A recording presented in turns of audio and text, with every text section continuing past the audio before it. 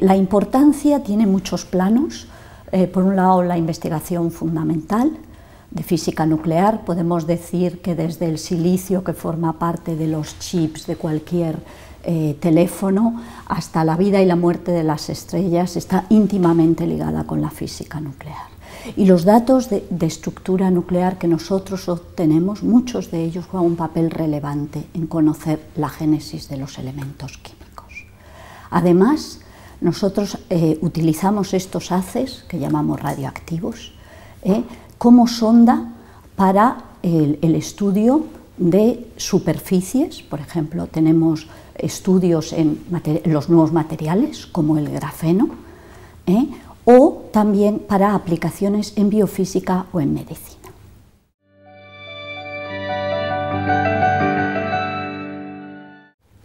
Yo diría que la lucha contra el cáncer es un tema multidisciplinar.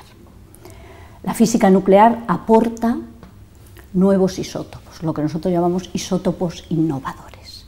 La idea es un poco hacer medicina privada, y no estamos hablando aquí de quién paga las facturas, sino realmente una medicina enfocada a cada paciente en particular.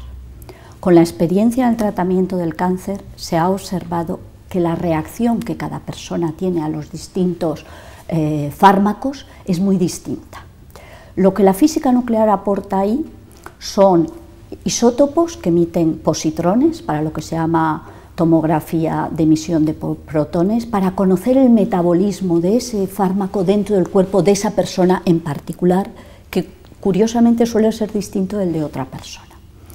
En, en en estos momentos estamos empeñados en una campaña que consiste en identificar elementos químicos que tengan varios isótopos, que unos se puedan utilizar para diagnóstico como para la tecnología de, emisión de positrones, otros para lo que se llama SPEC, que es tomografía con radiación gamma, y otros directamente para la cura, porque son emisores de electrones o emisores de alfa. Entonces, teniendo el mismo elemento químico, estamos seguros que el metabolismo en el cuerpo de esa persona ¿eh? recibe igual la imagen que observamos que la terapia que realizamos. Y en ese tema es donde la aportación de Isolde es en estos momentos puntera.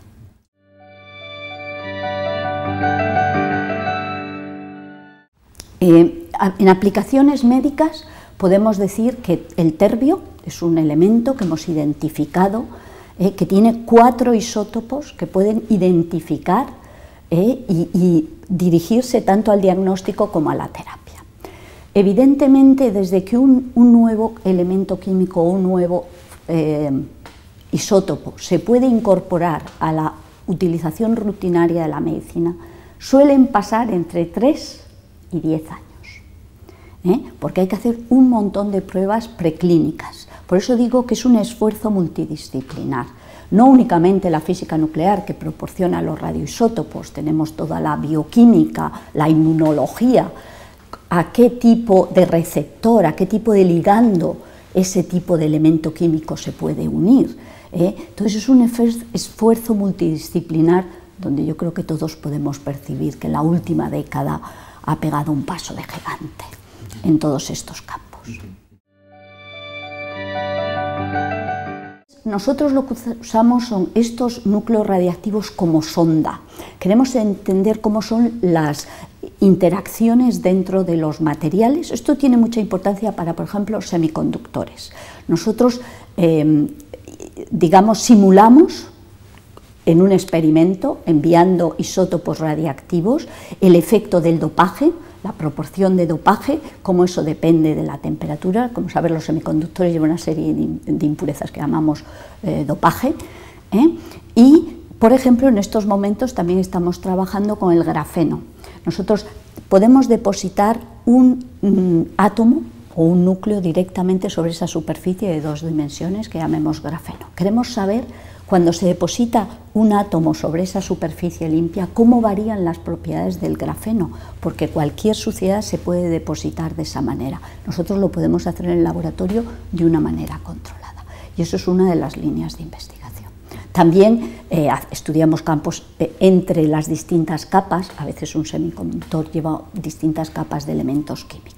Lo que nosotros hacemos es coger un isótopo radiactivo del mismo elemento químico y ver cómo varía la emisión de ese isótopo radiactivo cuando está dentro de ese material e inducir de ahí las, las variaciones de propiedad del material.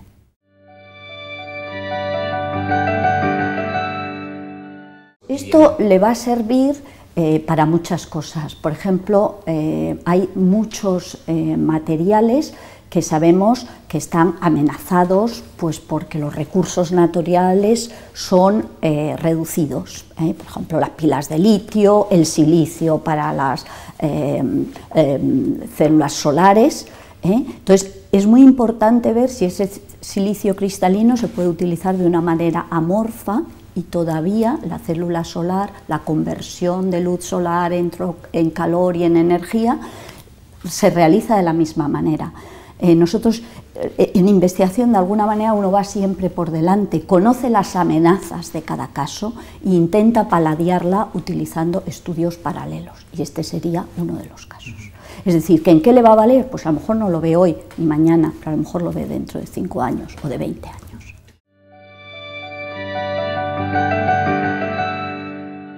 Bueno, yo creo que el CERN tiene muchas facetas. Em, siempre hablamos en estos momentos de la más puntera y yo creo que el descubrimiento del Higgs, que yo no trabajo en ese campo de investigación, ha sido una realización increíble. Pero para llegar a obtener el Higgs y el valor de su masa, eh, que como sabe bien se predijo en los años 60, es decir, le ha costado 60 años, se ha desarrollado tanta tecnología, tantos proyectos, aceleradores de tan alta energía a la vez y tantos métodos y algoritmos de cálculo que, por ejemplo, ahora mismo se utilizan para mejorar los programas de imagen médica. Es decir, que a veces el avance del conocimiento tiene un objetivo último. En este caso era obtener, eh, eh, digamos, validar el modelo estándar con la detección del bosón de Higgs y determinación de su masa. Para llegar a ese punto uno tiene que pasar tantos obstáculos que se hacen tantos descubrimientos tecnológicos, se, hacen, se obtienen tantas metas, ¿eh? que a la vez, una vez que uno las ha conseguido, ¿eh? puede mirar atrás y decir, ah, pero si esto que hemos obtenido también vale para mejorar los programas de imagen médica. O eh, tenemos una red de cálculo, ¿por qué no la usamos para, Internet, para que todo el mundo esté conectado, para que la gente pueda tener un mayor acceso al conocimiento?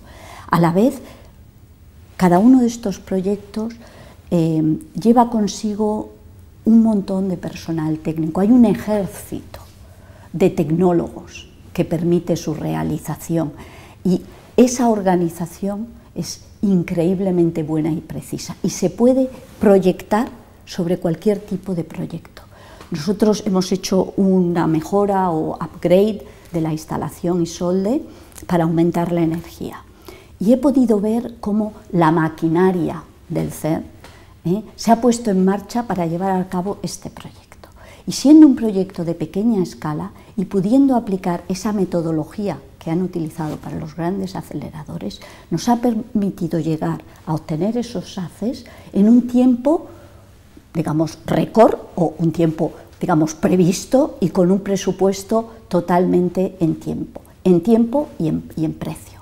¿eh? Entonces, esa metodología se puede aplicar en otros proyectos de gran escala y surtirá los mismos efectos. Es decir, que no hay únicamente el conocimiento básico, que todos reflejamos en estos momentos en el bosón de Higgs, sino que para llegar ahí se hacen tantos desarrollos de software, de electrónica y de metodología que se puede aplicar y es un modelo para muchos otros proyectos. Y la prueba está que, por ejemplo, la instalación de la eh, European Spallation Source en, en Suecia mantiene acuerdos y hay intercambio de personal, porque cada vez que uno inicia un nuevo proyecto técnico se refleja en el CERN.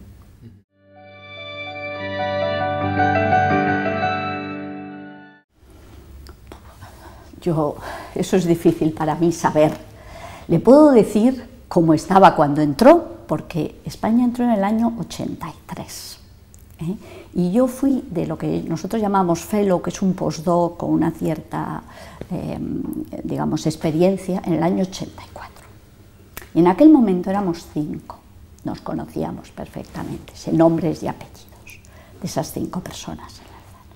Yo he vuelto muchos años después, he estado yendo y haciendo experimentos, pero de una manera permanente he vuelto en el año 2012 eh, y hay tantísima cantidad de gente española, no únicamente a nivel de ciencia, sino a nivel de tecnología, de ingenieros. No sé las cifras, eh, creo que, que no estamos mal, sería mi palabra, y esto se debe al esfuerzo que han hecho los que ya estaban allí intentando atraer nueva gente y a los españoles que estaban aquí intentando darle difusión para obtener el máximo intercambio y el máximo de transferencia. Y estamos donde debemos, habría que mirar los números.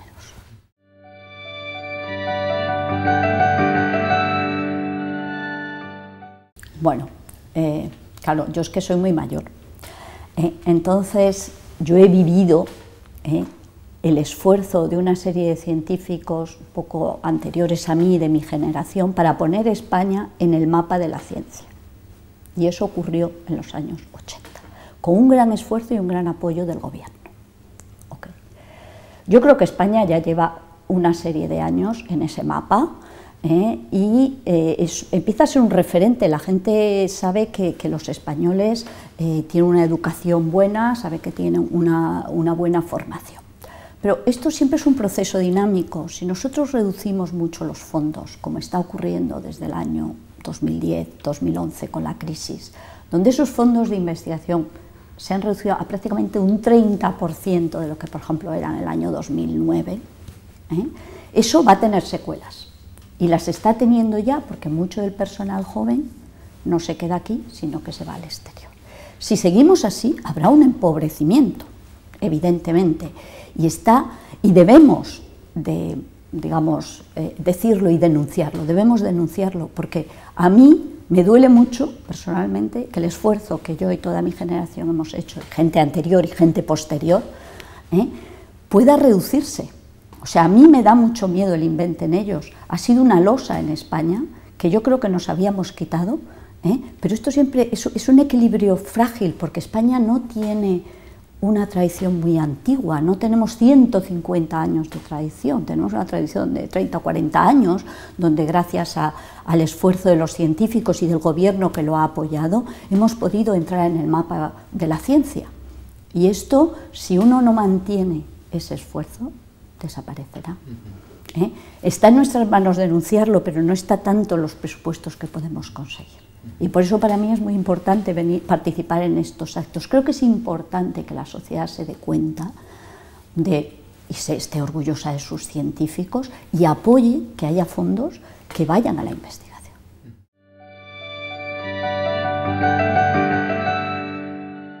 Bueno, la mujer española en la ciencia bueno, esto como todo es una moda. Yo decía el otro día que cuando yo estaba en el CER, en el año 84, y éramos poquísimas, no teníamos ninguna importancia. Que fuéramos mujer o hombre daba igual. Eh, cosa que a mí me parece muy razonable. Sin embargo, ahora es como si el personaje de la mujer se hubiera descubierto. Eh, yo creo que en España nunca hemos estado especialmente mal en balance de mujeres y hombres. Ya en los años 80, 90 eran los países mediterráneos, por lo menos a nivel del CER, que tenían una mayor proporción. Eh, creo que, es un tema relevante. Mm, si tienen o no el Nobel, no sé si es una cosa sociológica o una cosa de edad. Eh, no estoy muy segura, habría que, verdaderamente estudiarlo. Para mí, la importancia en la ciencia es que a nadie se nos juzgue por el sexo, sino por lo que nosotros hacemos. Y con eso me, me basta. Creo Creo que probablemente, aunque no sea razonable, creo que he llegado a un sitio que me interesaba llegar. Si podía haber llegado antes, si hubiera sido hombre o no, mm, no me he parado a pensarlo.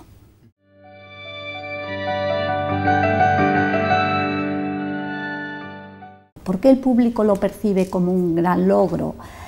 Pues quizá tiene aspectos sociológicos importantes, es un esfuerzo común cada uno está poniendo su piedra y todo el mundo se considera uno en este esfuerzo común. ¿eh? Uno de los cuales España es uno de ellos. O sea, el CERN es España también. ¿eh? Y yo creo que quizá ese eco que ha tenido el bosón de Higgs manifiesta ese convencimiento social de que nosotros somos parte de ello y que vaya bien, también nos va bien a nosotros. Y eso creo que es un punto de reflejo con respecto al CERN y otras, mm, digamos, eh, instalaciones eh, de investigación internacionales en las cuales España participa, no solamente con sus científicos, también con su imagen y con su saber hacer pero en realidad no lo sé. Me imagino que los, ustedes, los periodistas, han tenido mucho que ver en este tema.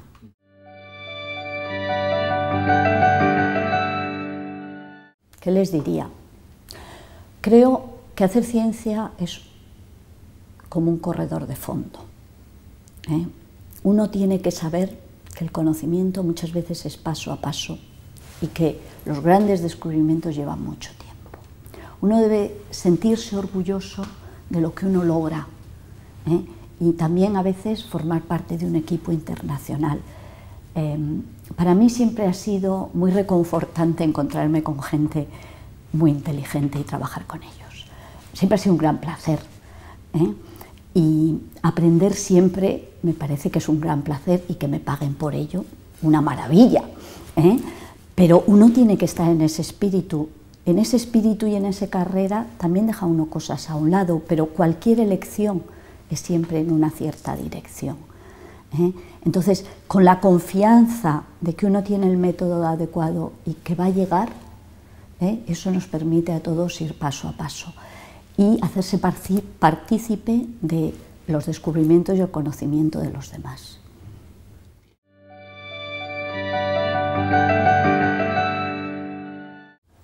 Yo siempre he hecho investigación básica, ¿eh?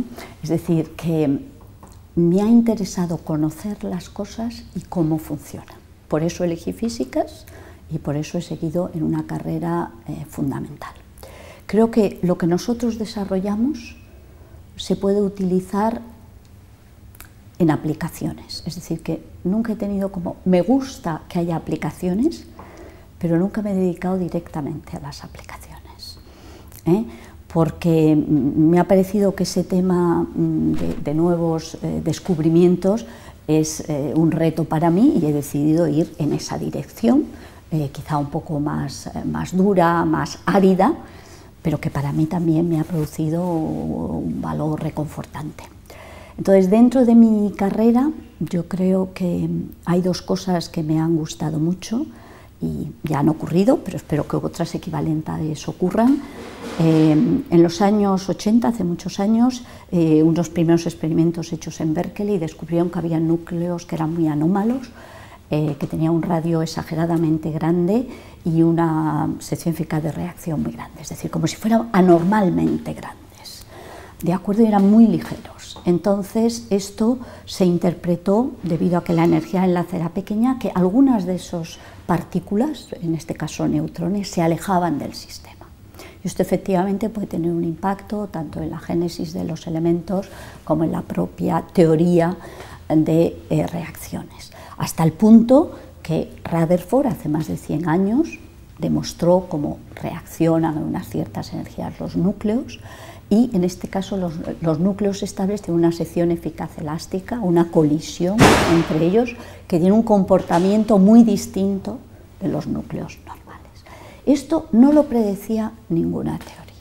Esto fue un descubrimiento experimental que, por supuesto, ha desencadenado eh, un montón de, trabajos teóricos em, relativamente fáciles, porque al, encontrarse con partículas alejadas podemos em, hacer modelizar un núcleo que normalmente puede tener, pues, yo que sé, 20, 10, hasta 50 partículas como un sistema de tres cuerpos, que es lo que nosotros sabemos resolver matemáticamente. Em, entonces, el estudio de estos sistemas, por decirlo de alguna manera, anómalos, ha ocupado una gran parte de mi carrera y me han gustado mucho porque em, no, no se predecían teóricamente y ha sido el trabajo experimental el que ha conducido a este descubrimiento. Como yo experimental, pues me ha gustado.